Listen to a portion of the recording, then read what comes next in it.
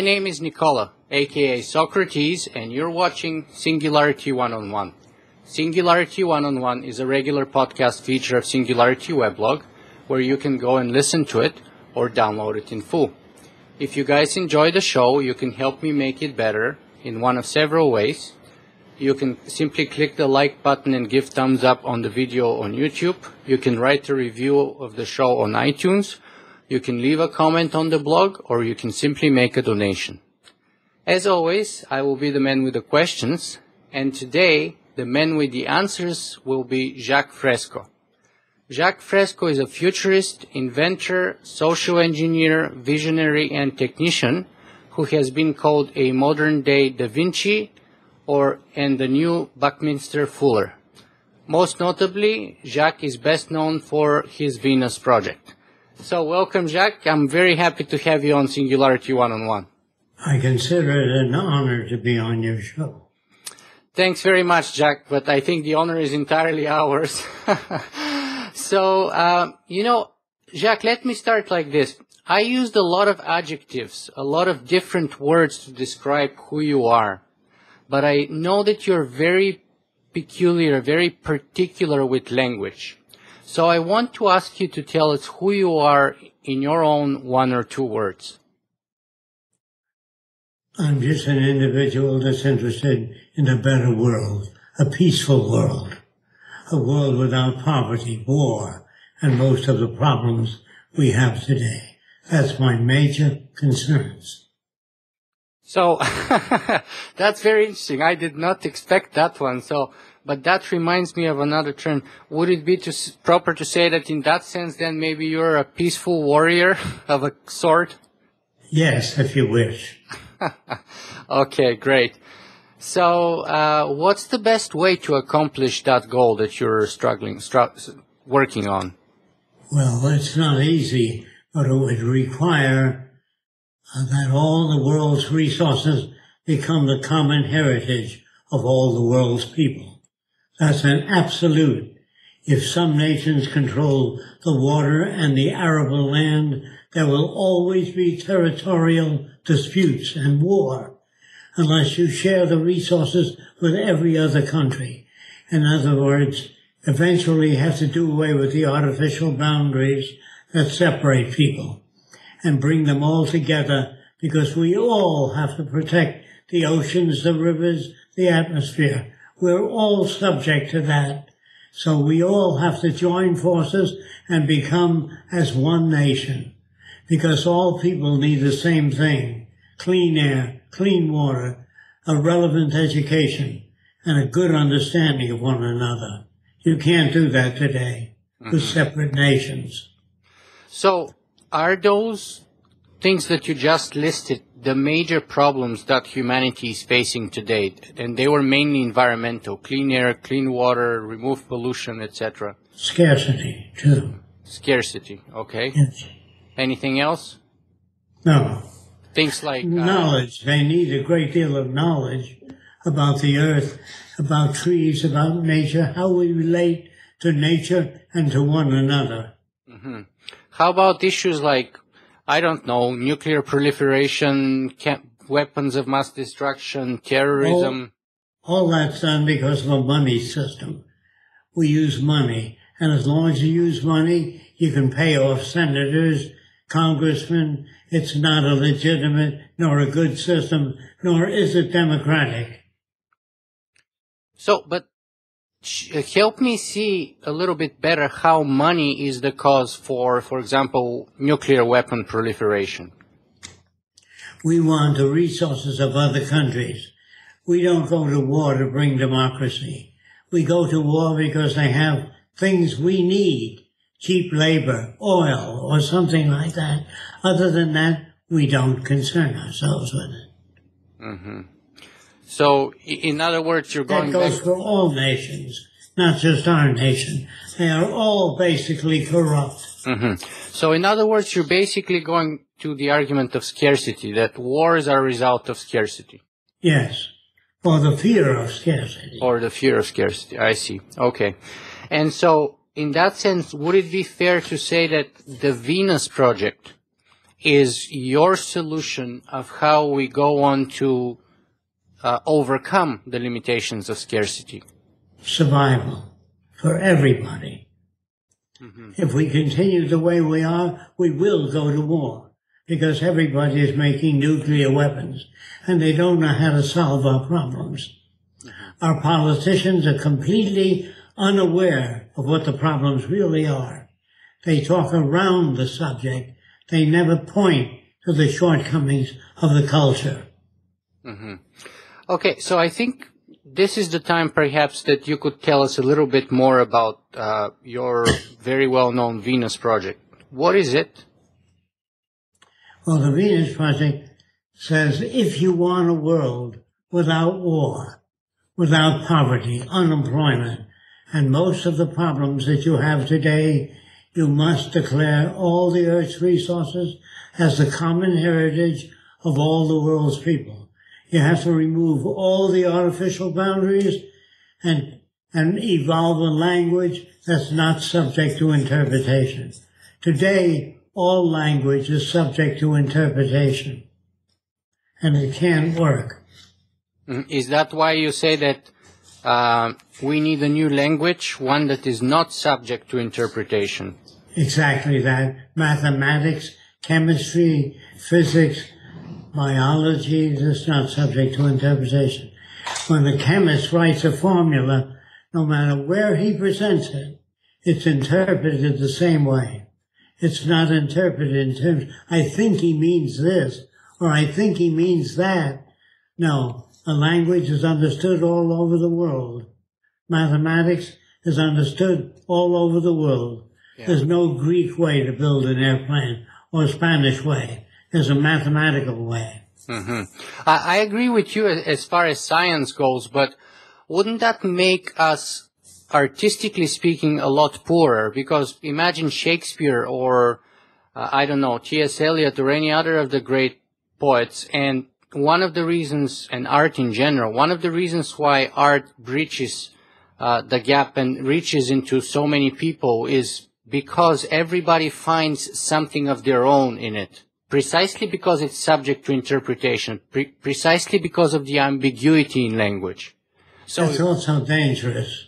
it is dangerous, but it's a double-edged sword. It is dangerous if you're building airplanes and bridges that can crash or fall. But on the other hand, if you're talking about poetry or art, I'm not talking about poetry or art. I'm talking about survival of the world's people. They can't survive on poetry and art. They need electric lights, power generators, automation. They need these things in order to survive. Otherwise, you're going to have to pull boats along the Hudson River, the Volga River. you're going to have humans pulling boats. All right. so, um, why did you name the the project with the the name Venus, the Venus Project? because we started it in Venus, Florida. Because Venus had the land we needed and the resources we needed to get started. It's in Venus, and Venus is about the middle of the state. hmm Uh, to tell you the truth, uh, based on my research that I've done before this interview, I, I've seen lots of pictures and clips and videos from what you've done there, and I personally would love to be able to come and visit and take a day tour of your facilities and the amazing work that you've done there, because it, it looks really impressive to me. Yes, you'll have to come on Saturday. That's tour day. Oh, fantastic. Saturday at one o'clock. So, does that mean that anyone who's watching this uh, can come over and visit you on Saturdays at 1 uh, p after 1 p.m.? Yes, Oh, that's but they have to look into it. Look into the requirements for coming I see. on the internet. Okay, great. So mm-hmm. I'm going to put the link there to into the show notes so that people can look into that and click it and, and find out Yeah. more. But let's move on with our interview here. So one of the things that you once said that really bugged me was the majority of people today are unsane. Can you tell us what do you mean by unsane? If you're brought up under Hitler, you're brought up under a lot of values that have never been tested, that have never been verified, just opinions. Unsane means uh, saying that we won't get to the moon in a thousand years. That's unsane. The proper answer is, I don't know enough about rockets to give you that answer. I don't know enough about survival in space. I don't know. But people have opinions about anything because people have been brought up to believe that everyone should have a right to their own opinion. I think that's dangerous. They should have access to the facts, not their own opinion. Mm-hmm. That kind of reminds me, by the way, very much to what Socrates used to say. He used to say, if there's anything that I do know is that I don't know, but you don't know, and that's why you think you do know. Yes, of course. Okay, so um, the next other interesting, one other interesting thing connecting to do that you, you you've said before is that there's no such thing as a thinking man because he can't. Can you elaborate Yes. on that a little bit more too? I can only try. Uh, when I say a thinking man, it's very difficult for an Eskimo who's never been around, who just built ice igloos, to think of a twin engine Beechcraft. He can't think of a Mercedes. If you ask an Eskimo, what do you want? You can have anything you want. He will never ask for a Mercedes or a twin engine Beechcraft because he doesn't even know they exist. That's what I mean. That people are imprisoned by their culture. Mm-hmm. If you were brought up as a baby in Nazi Germany after Hitler burned the books, all you see is Heil Hitler, Deutschland über alles, Germany above all. Well, you can't think outside of that if you're not exposed to other ideas. hmm So, in other words, we're all children of the environment that we grow Yes. up in. We're victims of the culture we grew up in. Mm. And is that true to you about you too? No, because I was not brought up in the same environment most people are. I left school when I was 13 or 14. So I was exposed to a very different kind of environment. I was exposed to the Great Depression in 1929. I saw millions of people unemployed lose their jobs. I saw signs on factories, no help wanted and I saw soup kitchens and thousands of people sleeping in the park and people with ideas like mankind united, technocracy, socialism, communism, free enterprise. There were people up on soapboxes talking about all different kinds of systems, but none of the systems I heard of were accurate. There were a lot of opinions in there and a lot of speculation hmm and I don't want speculation. Scientists never tell you that this is the strongest material in the world. They put it in a machine, twist it, pull it, compress it, and they give you a report on the characteristics of that metal. hmm Not only that, they tell you what the object is made of, nickel and titanium and cobalt. They tell you what is inside that metal. Politicians, well, let me say this carefully so you don't misunderstand me. They don't know a damn thing.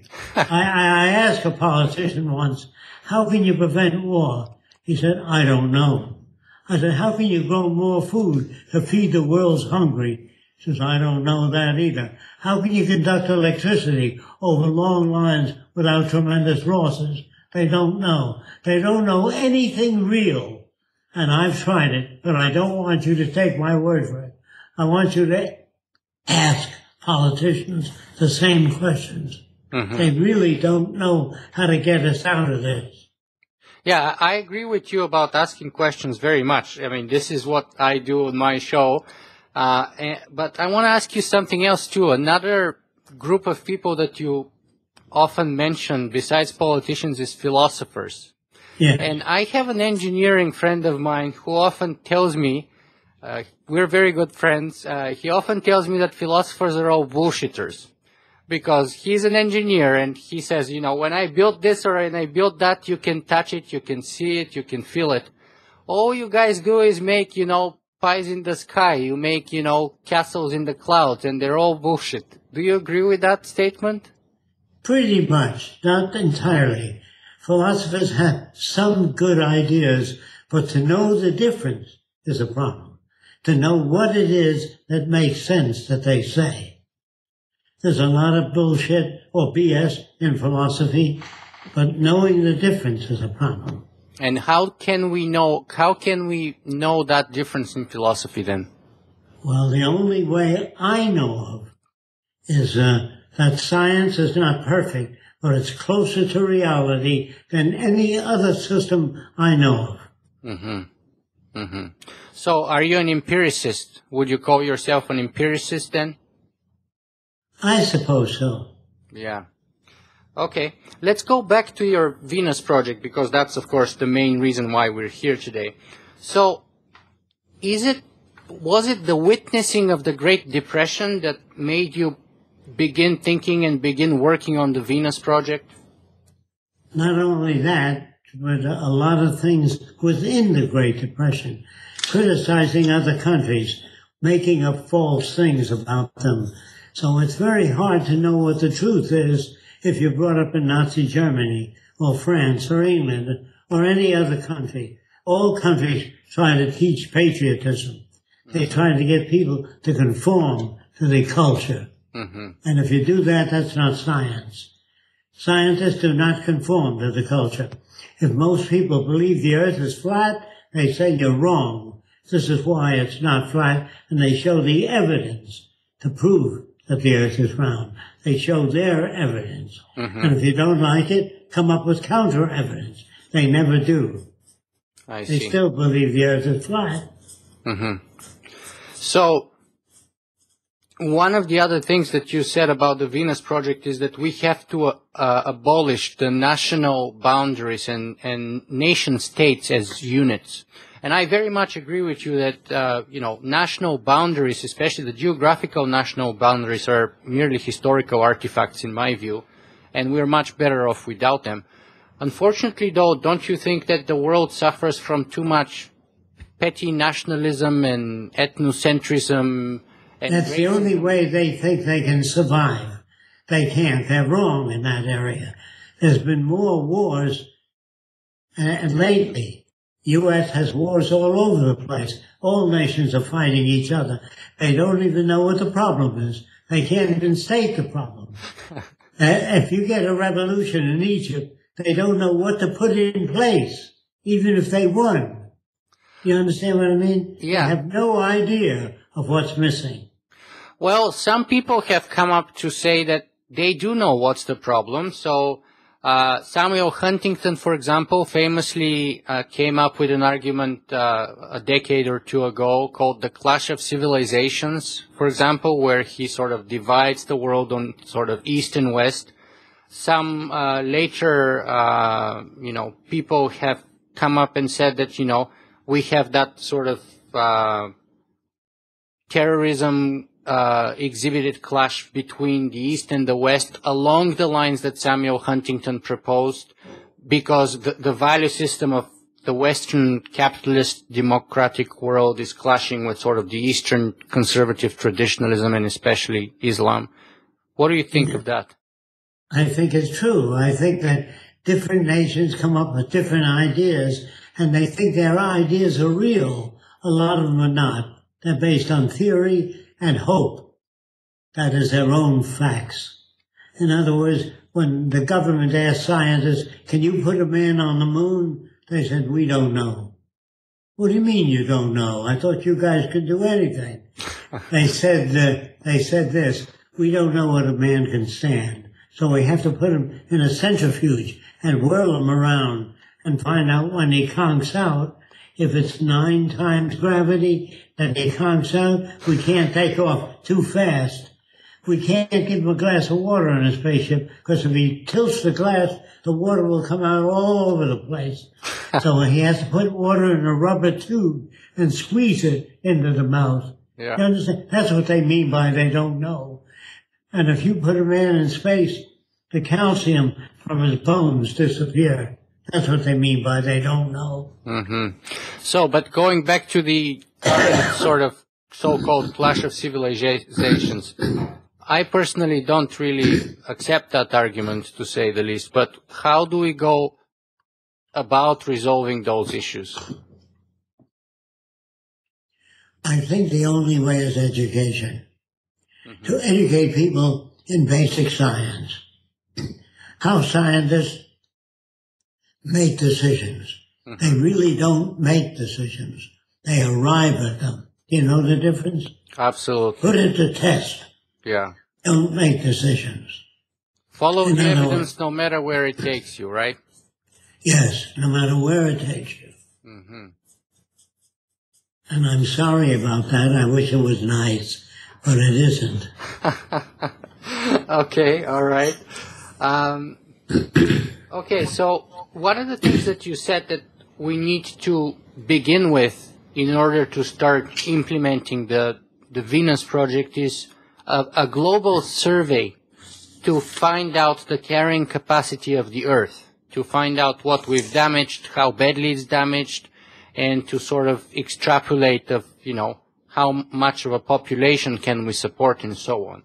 Yeah. Now, I agree with that entirely on the survey part. On the other hand, the carrying capacity of any lot of land depends entirely on the technology that you apply to to to, to produce anything from it, right?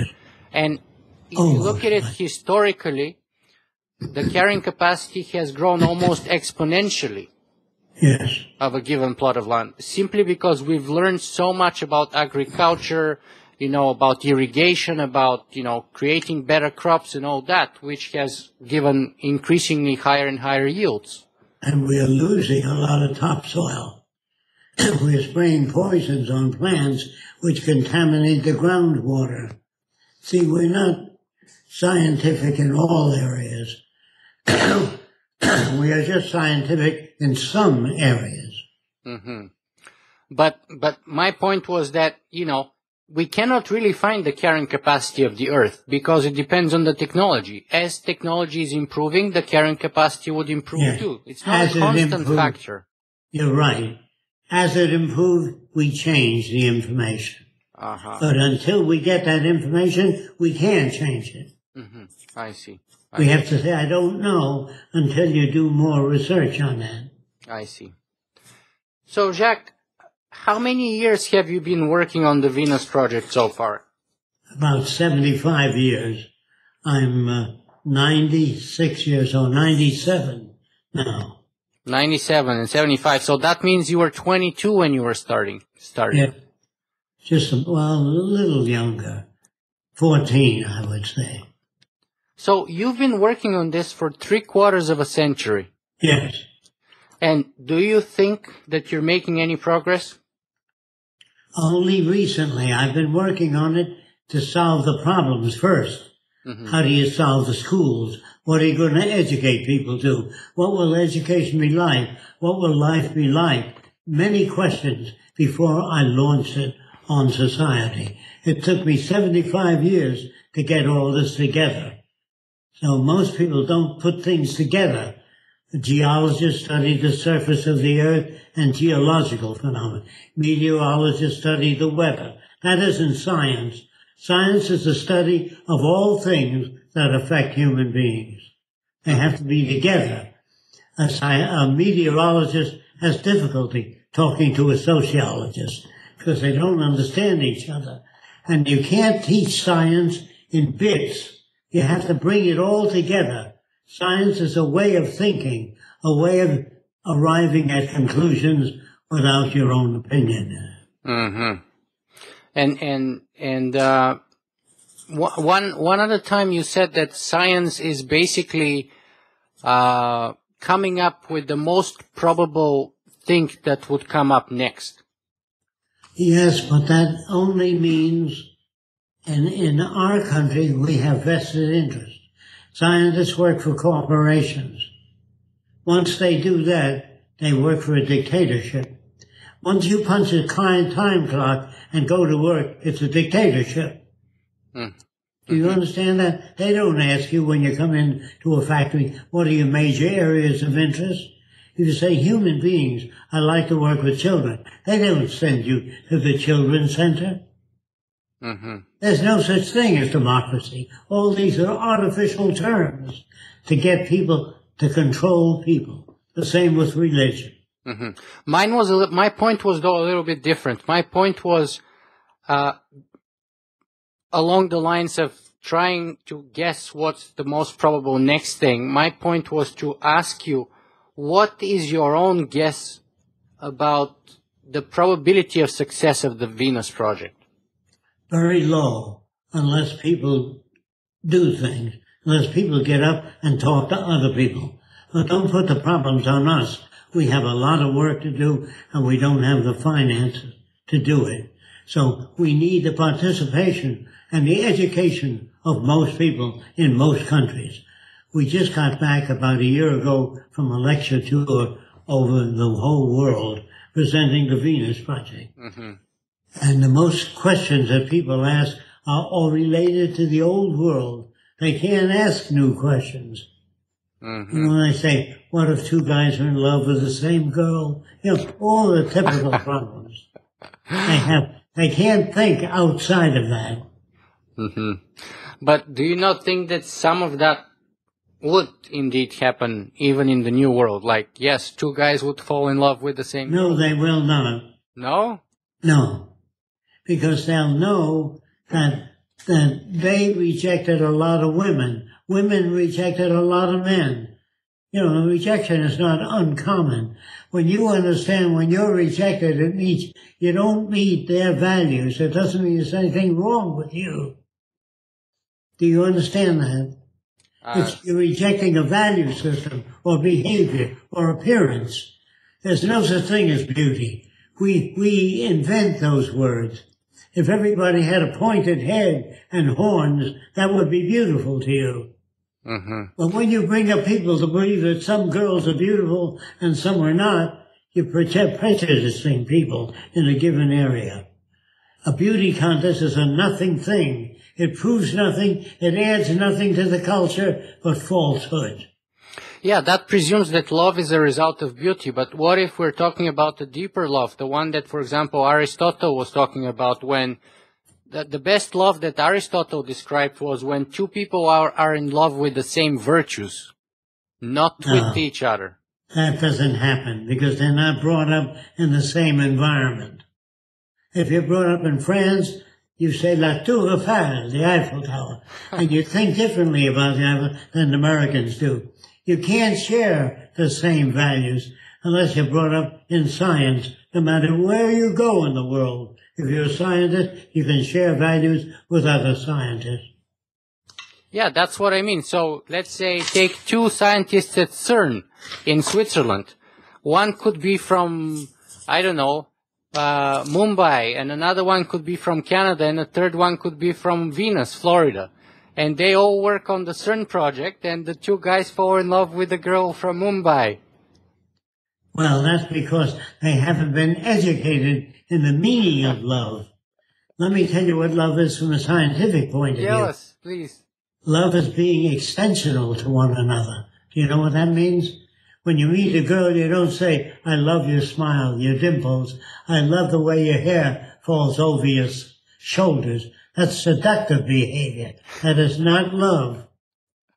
What and is most men, love is being extensional, giving people ideas and ways of thinking that help them grow. That's love. To teach a child how to think about things in a scientific way is really caring. But if you teach them your way of thinking, that's not scientific. hmm If So- you say to your daughter, don't play with that girl, you're a Lutheran, she's a Catholic. The mother means well, but she doesn't know what to do. Mm-hmm. Mm-hmm. Mothers don't know how to raise children. You know, I'll give you a funny sideline story and then we'll go back on topic just briefly. But me and my wife, we're very different. You know, I come from Eastern Europe. She was brought up in a very uh, traditional American Republican family. She was Catholic. I'm an atheist. Uh, I'm sort of left wing le- leaning. She's she was right wing leaning. I am sort of very logical. She's very artistic. So in the beginning, we were like complete opposites, and we had lots of issues to work through. But we made it work, and we've been together for almost ten years now, despite those different value systems that we came out of.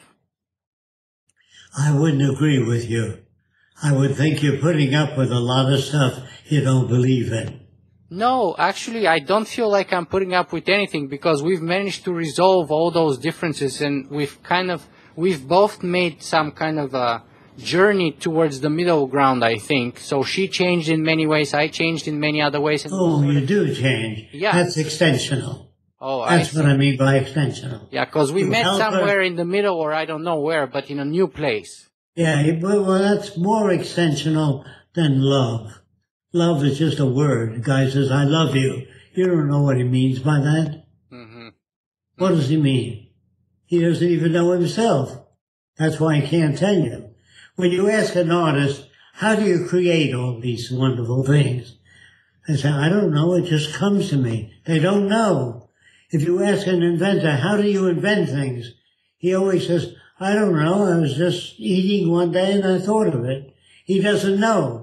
But there's a process he doesn't know anything about. I know where every invention I ever made comes from. Tell us a little bit from, give us a couple examples. Where, for example, does the Venus Project come from specifically? Can you give us some? Seeing, seeing misery, unemployment, war, all those things, horrible, free opinions, free thinking, where everybody has a right to their own opinion. All of those things, when you check them out, don't work.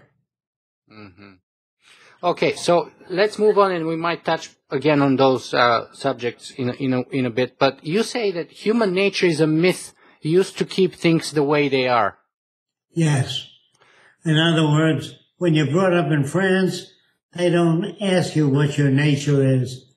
They t- tell you what to think, how what it means to be a Frenchman, what it means to be an American. They can't tell you that. Where did America get this land? They stole it from the Indians. Yeah. The Indians did not say, come on over, build whatever you want. The Indians fought back and they lost. hmm But, but we, not only that, George Washington had 300 slaves. He'd have been thrown out of the country if he were alive today. Human nature is an excuse. They think that humans are born that way because they all seem to be greedy. When you meet with children, they all say the same thing. I, I can run faster than you. I bet I can fight you. If they're brought up in a competitive society, that's the way they talk. They talk. Mm-hmm. If they're brought up in a cooperative society, they say, you probably can run faster than me. So what? What does it matter? So- in a competitive society, it matters.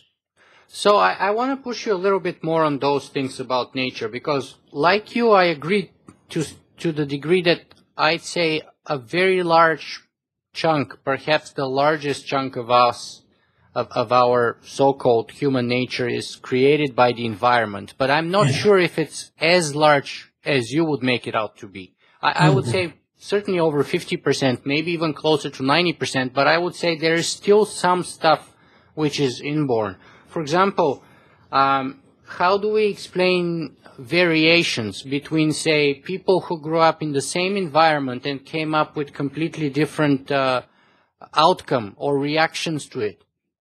If you stamp out a fender in a factory and it doesn't get come out right, it means you got the wrong machine. There's no such thing as the same environment. Every human being, when you have two kids in the family, if you treat the younger kid with priority, you make jealousy and envy in the older kid. If you play with a three-year-old and the younger kid is standing at seven years old with that lower lip out, you know, and crying, and you say, what's the matter? They don't say anything because you must not do that. You have to put the young kid on your lap and the older kid and say, I love you both. Never play with a younger kid or never use one kid against the other. You can't say you can go to the movie, but you can't because you didn't do your homework. That makes envy and jealousy.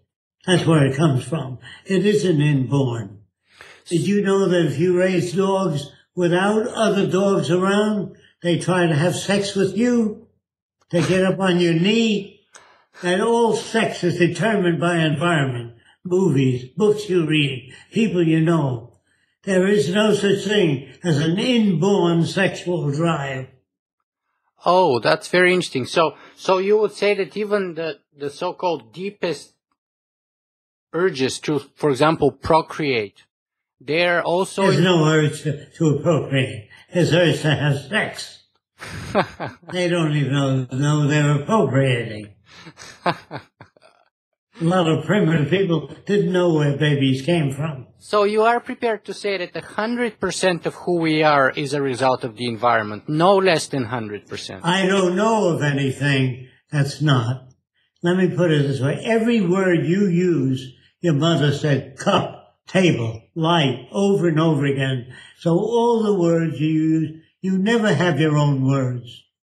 And a child born in China never was born speaking Chinese. Even though they spoke Chinese for generations, the Chinese baby does not learn Chinese any faster than an English baby. They tried that experiment. They thought that the Chinese baby would learn to speak Chinese better and faster, but it's not true. There's a lot of projection. You know what that means? Mm-hmm. People project their own values into things, and that's what louses up society. So isn't that view, I mean, to, to some, to some, I, I don't know, that view strikes me a little bit determinate or a lot deterministic. I mean, there's no room for personal choice. There's no room for free will. It almost sounds like as if we're sort of like meaning making machines that are entirely molded by the world around us and we're just eh. sort of following that input and converting it into output without But, but it feels like it feels like we're making our own decisions. yeah. Nobody ever comes into my store and asks for an armored suit, a suit of armor, Mhm. because it doesn't exist.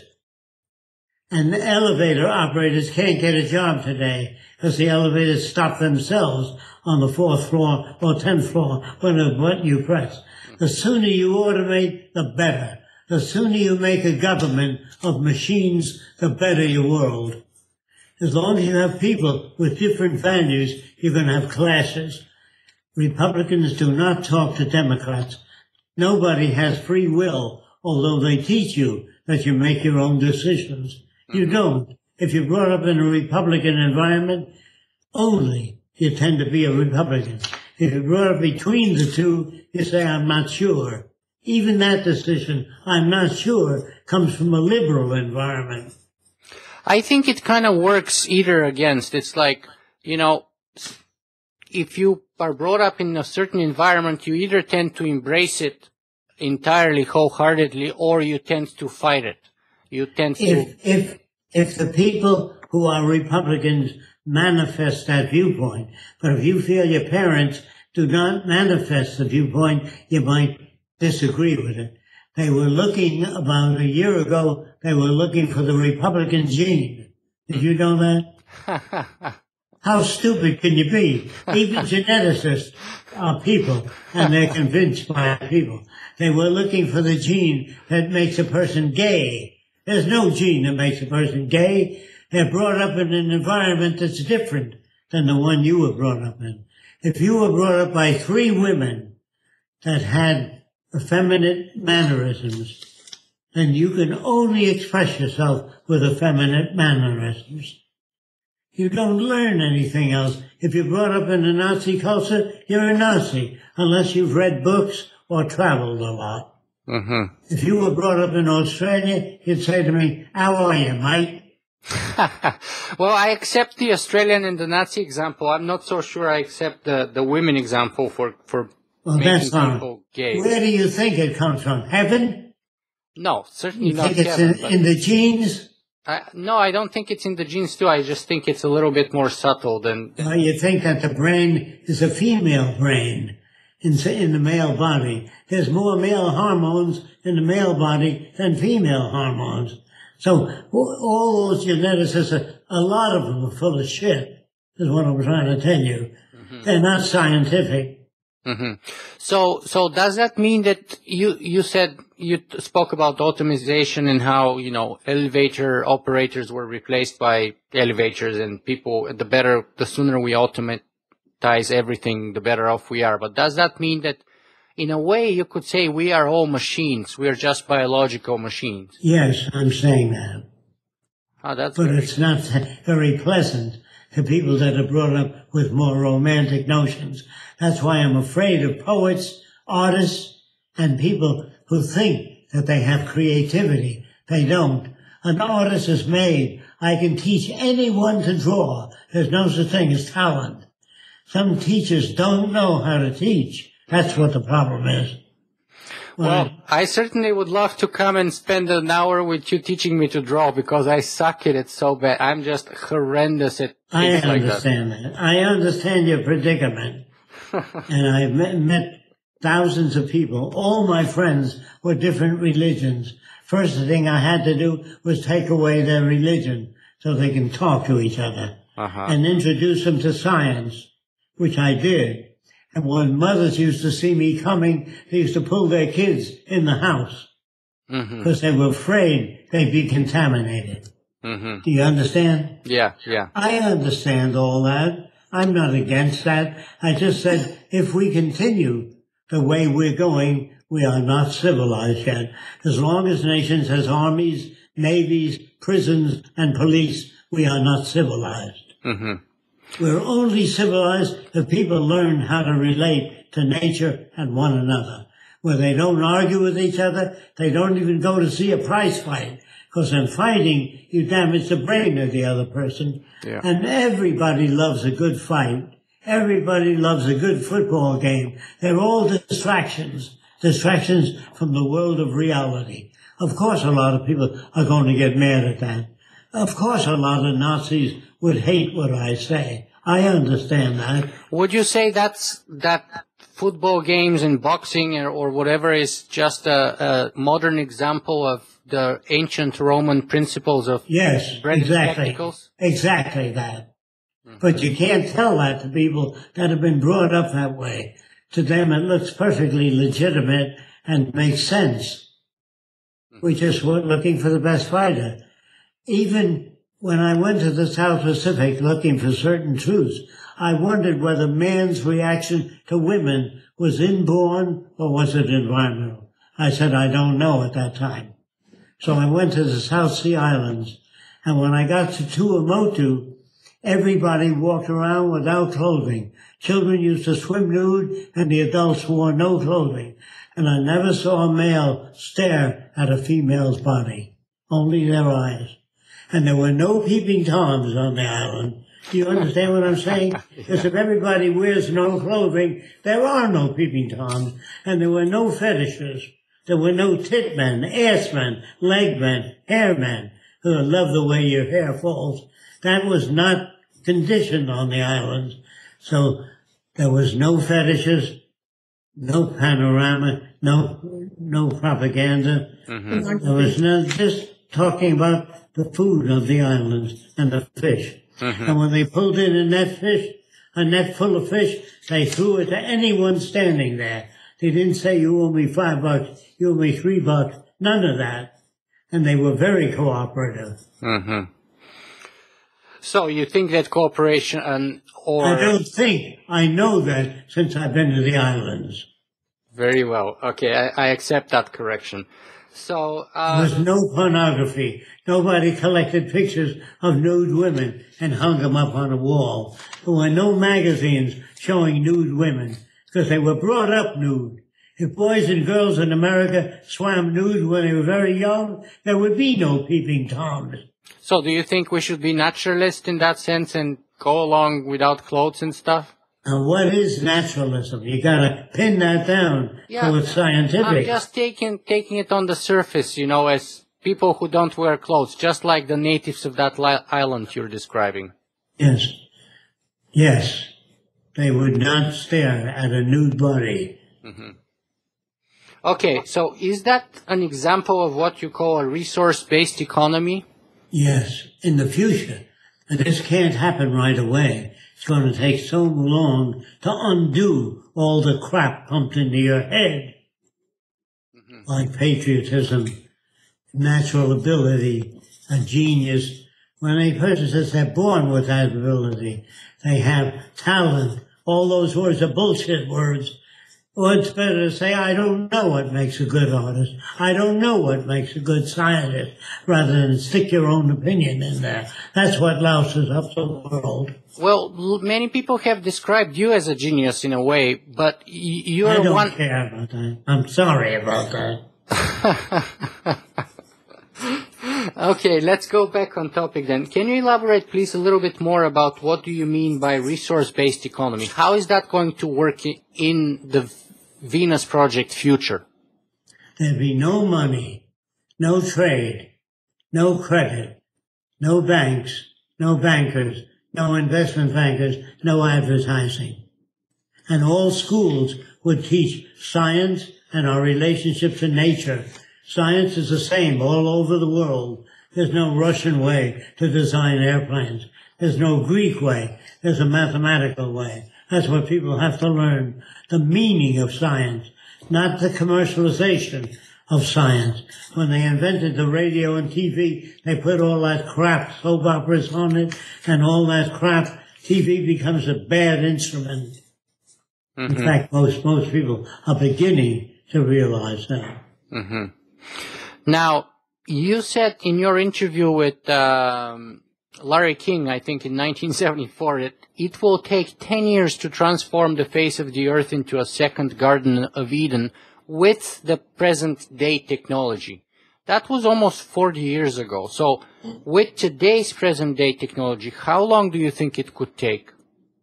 It isn't how long it would take. We can't get on to the media because the media itself is paid by the monetary system. They get so much for selling cigarettes. But cigarettes always produce cancer if you live long enough. It may take 10 years or 15 years, but it will produce a heart condition and cancer. A society that's sane would not sell cigarettes or any contaminated food. hmm So, so do you think that the key to that transition or transformation is getting access to media and education? Yes, we have no access. All media thrives on profit, and their major concern is the profit going up. That's where people invest. If your profit is going down, you might work for goodwill. hmm There's no goodwill industry, no charity in the future. There's no starvation and no unemployment either. Except as technology advances and people are replaced, this will happen in our own culture. More and more technology will be installed and people will be laid off and they'll never get jobs again. And that's when the system dies when it can no longer support itself, when the public doesn't have the purchasing power to buy products. That's the problem. hmm uh, So Yes. that picture that you paint of the future is very beautiful, but some have said in the past that it it makes you a very utopian. Are you a utopian? no, because even the cities I design will be changed by future generations.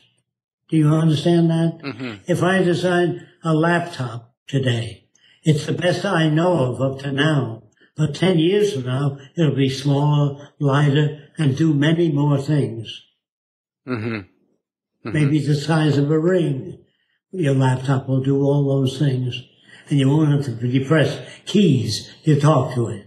hmm So obviously, automa- automatization takes a central point in your project, Yes, right? But yes. is that artificial intelligence that you're referring to? Only if it doesn't touch the real world, it's artificial. It should be about the real world. Well, automation means that whatever a man can do, a machine can do better.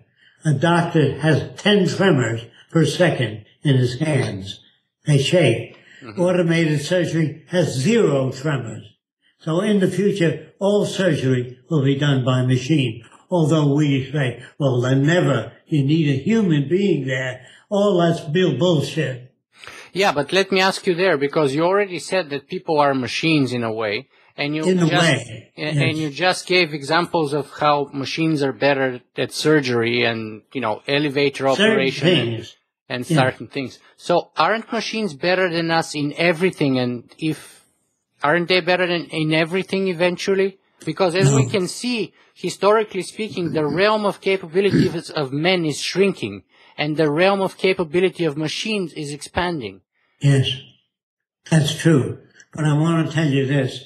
They are warning people that machines will take over eventually. And that's not true. Machines will never take over because they have no feelings. Machines do not feel when you put a good oil in a machine, it doesn't say thank you for the good oil. I really needed it. It doesn't appreciate anything. If your computer had feelings, it would say, hey, give me a day off, will you? Don't work me Saturday and Sunday and Monday. Give me a day off. No computer has feelings. If you smash a computer in front of 25 brand new ones, they don't say, we'll get you. If it isn't this week or next week, we'll get you. They don't care. Yeah, but that's at this moment of what some people would say are crude level machines, crude level computers. No. When you're talking no, about the true. artificial intelligence, for example, wouldn't that make the machine be able to come up with feelings its own? No, no, they, they don't know how to do that. No machine today has any kind of feelings at all. Now you can get a machine if you make a face that looks human to express emotions, Yeah. to, to look like they feel. It's like a phonograph record or a movie. Yeah. They don't really feel the loss in a movie of 10 people or a 100,000 people. They don't really, the movie doesn't feel it. The actor acts as though he feels it, but he doesn't really feel it. No machine can feel sorry for a person hit by a Mack truck. hmm They go right on producing. Jacque, I know your time is very valuable, but I would like to see if, if it's possible to keep you for another 15 minutes or so, and I have another 10 quick questions to shoot at you, if, if that's Yes. okay. Yes, you have. You're right. Thank you so much. I really appreciate it. So let me just ask a little bit different questions here for That's a all second. right. What's what's your secret to longevity? You're 97 years old, and you still seem to be going at the energy level of, of a 50 year old. How do you do that? And because I'm interested in what I'm doing, I feel sorry for people who were brought up in different cultures with these artificial values. It bothers me to see all these suffering people that can't get medical care because they don't have the money. And money, to me, the Bible says the love of money is the root of all evil. And I think that's true. Although I don't believe most of the Bible. Uh, a different type of question. Do you know who Ray Kurzweil is? And if you do, what do you think of him and his work? Ray Kurzweil. Oh, I think that he's uh, he's very speculative and he's tied down to the culture. He doesn't touch the economic system. No matter what he writes about, he doesn't touch the social system, which is safe avoidance. Hmm So then, uh, what's your take on what he calls the coming technological singularity? I don't buy that because I don't believe you can make man a half computer and half human. Because there's no final frontiers. There's no best city, no best laptop. It, it will change eternally. Man will continue to grow. He will never arrive at any final stage. But he's not saying that we would arrive at a final stage. We, he just says that that step of going into a technological singularity is a point beyond we cannot see, but that process that you're describing would, will in fact continue to unfold, and we are going The to best thing to do is to leave that alone until you get close to it. You, know, you can't speculate on the future because you don't know what inventions are coming up. hmm Well, I don't know. hmm Well, he says that a good inventor plans always about at least five years ahead of time. He can't. He can't know what's coming up. hmm I see. Uh, Jacque, what do you think of death? Well, I don't think about death much, but if you want to know what it's like, I can tell you. It's like things used to be for you 500 years ago. You were dead. That's what Epicurus says. That's why Lucretius says that death is nothing to us, just like it was nothing to us before we were born. And we That's don't right. feel sorry for someone who was not born yet. Yes. Therefore, he says we shouldn't fear someone who is dead because they're basically where they were before uh, being alive. Yes. That's close enough. Yeah, and he, that's why he claims uh, death is nothing to us. Does that answer your question? Yeah, but I want to find out personally your view in the sense that would you like to continue living another hundred years if you could?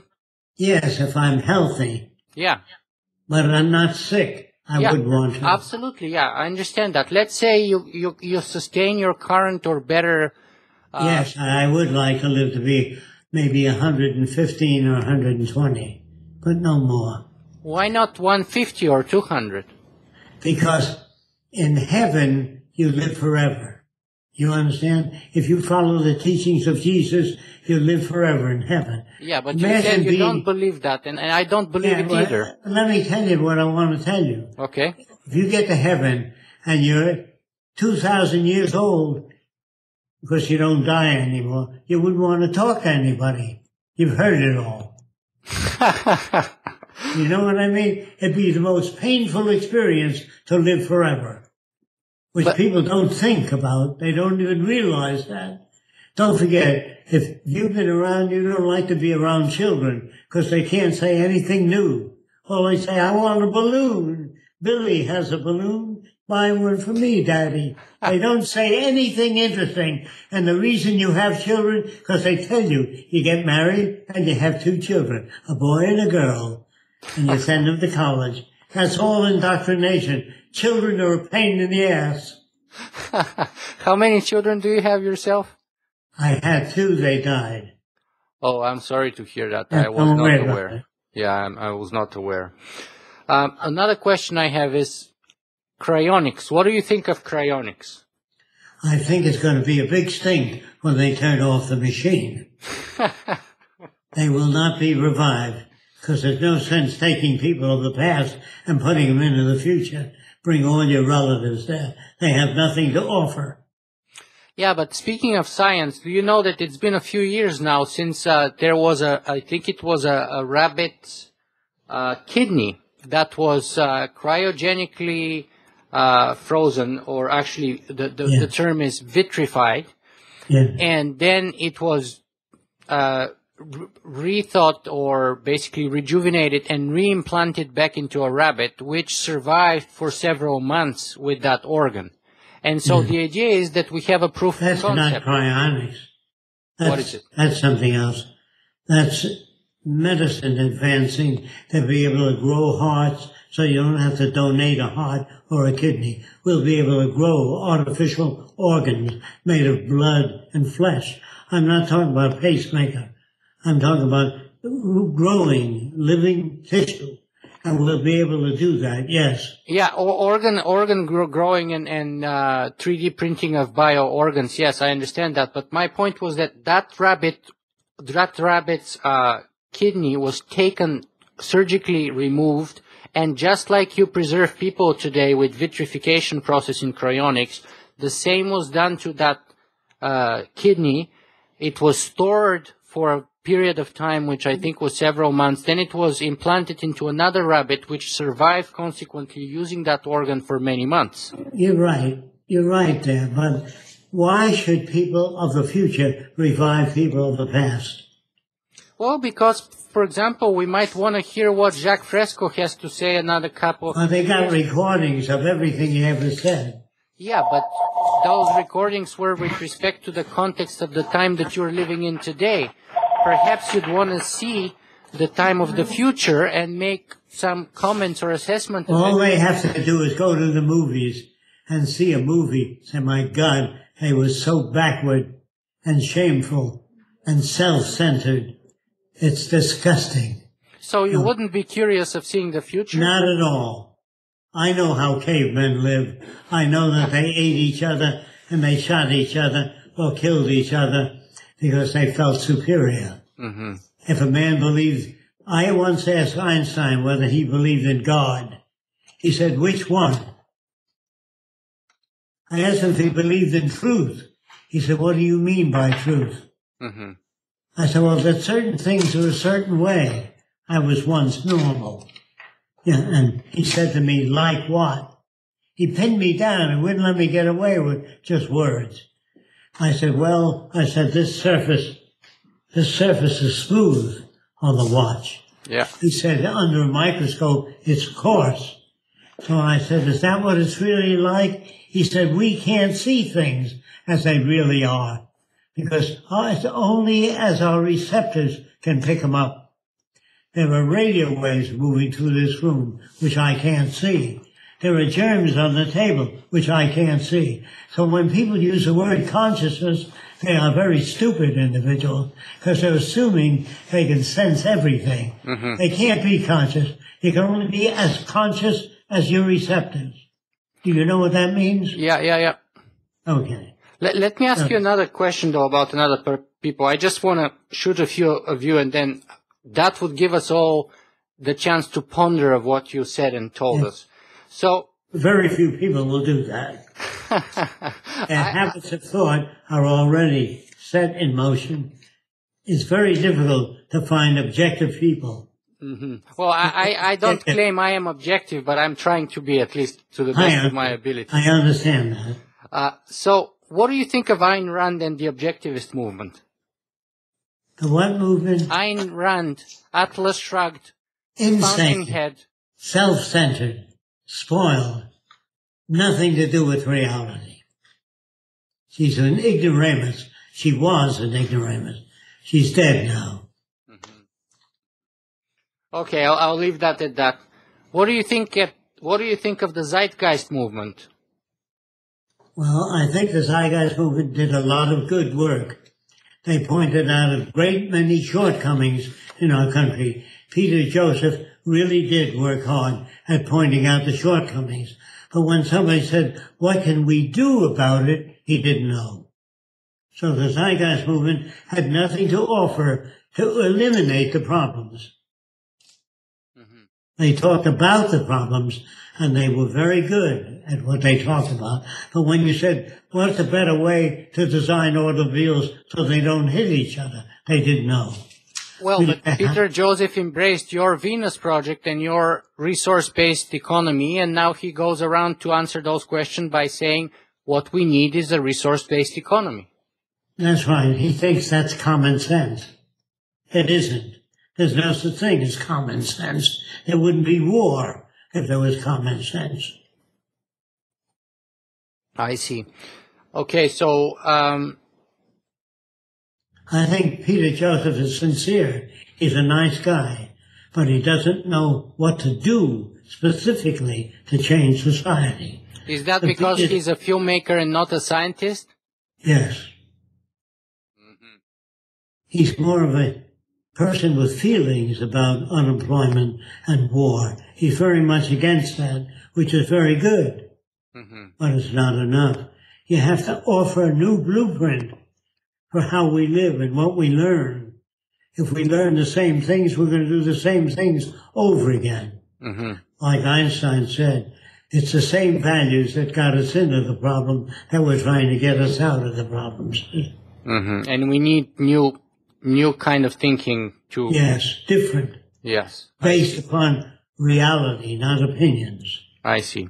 Now, in your interview with Larry King in 1974, you said that in 10 or 15 years from now, our society will go down in history as the lowest development of men.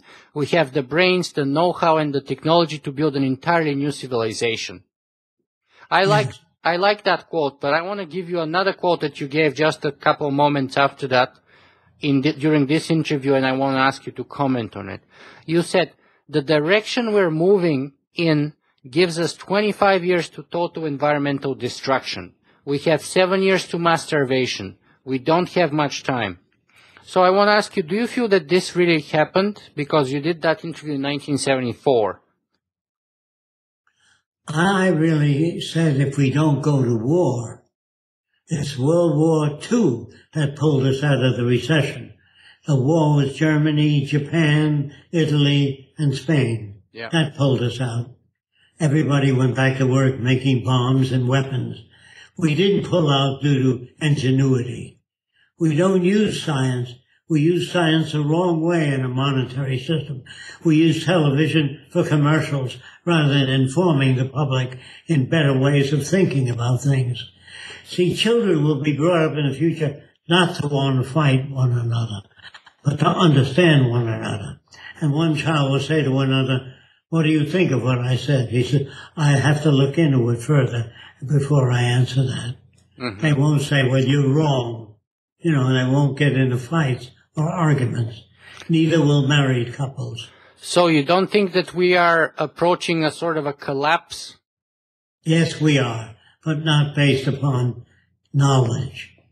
We're based upon collapse because we choose erroneous directions. Yeah, but my previous point was, didn't you say that, that in 1974 that we have, you know, 25 years to total environmental destruction and seven years to mass starvation? And so, in other words, you said that before and kind of didn't seem to happen. Yes, but uh, that is, if they use the scientific method, we could solve these problems, but we're not using it. It So why didn't it happen then, since 1974? Because there's no money in it. We work for money. If you ask an industry what the bottom line is, they say profit, not the human being well-being. We, our major concern is the well-being of people all over the world. No more poverty, no more hunger, mm-hmm. no more prisons, no more police. Because what makes a prisoner? This is the question. What makes war? Why do people kill each other? You have to understand what makes that. And if you understand what makes it, you can weed it out of the upbringing. Jacque, the last two questions that I always ask of people on my show are always the same. And the first one is, where can people find more about you and your work? TheVenusProject.com. That's the best place. Well, there's a book called uh, The Best That Money Can't Buy. I've written that book some years ago, but it, it'll update you, showing you a new way of thinking about everything. Mm-hmm, mm-hmm. So I would suggest you read that book first, then call for questions. Because Uh-huh. most of your questions are culture bound. You know what I mean? Yes. I mm-hmm. am, I am of the old world you describe. There's no doubt about it, in most ways. Yeah, but I trust you. That's why I'm on the show. Thank you. And I I, trust your sincerity. and your book is actually on my reading list for sure, and I do plan to read it. I will read it. So, There are also pictures of what the new world might look like. Yeah, actually, I, I really like your uh, sketches and your pictures, your designs. They look very interesting, very fresh, very unique, very different. I really, really appreciate those. Uh, but let us finish our interview here with the last and perhaps most important question, which is, we've been talking here for an hour and 15 minutes with you. So what is the most important thing that you would like people to take away from this conversation with you today? to study the meaning of science and applying the methods of science to the social system. We always ask scientists to make new bombs, an atom bomb or something like that. But when they drafted me into the army, they said, can you make a bomb that explodes sideways instead of up? I said, I don't know how to do that. I know how to do that, but I won't. I would never give the atom bomb to any nation because they're too stupid to utilize it wisely. I'm against the space program. You wouldn't gather that. I'm against the space program if single nations go out into space. If we learn to live together on Earth, then we go out into space. As a joint venture, I feel better about that. I'm afraid of single nations going out there because I think we'll have nuclear weapons going around in outer space with the value system we have today. I'm afraid of the leaders of the world today. They're very much alike and very stupid, poorly informed. Mm-hmm. Jacque Fresco, thank you very much for taking so much time of your day to be with us today. Really appreciate it. Whenever you want to further this conversation, let me know. Thank you. I would love to come and visit you in person one day and shake your hand and, and just uh, maybe you can show me some drawing technique. People come all from all over the world on Saturday mm-hmm. to, to hear this new thing. What is it? It's nothing like any other system. They say, is it a form of communism? No, it's not. Communism has warships, airplanes, bombers, poison gas, nerve gas. They have all the things we have. And that's nothing like communism, socialism, or any other ism. It's different than any culture ever tried before. Mm-hmm. So we must read the book. Yes. If okay. you really, really want to know. If we care. Yes, I agree. I agree don't, with you. Don't ask your neighbor, what do you think of the Venus Project? Yes. Ask if he's read the book. Yes, I agree entirely. Okay. Thanks very much, Jacque. Thank you for the opportunity.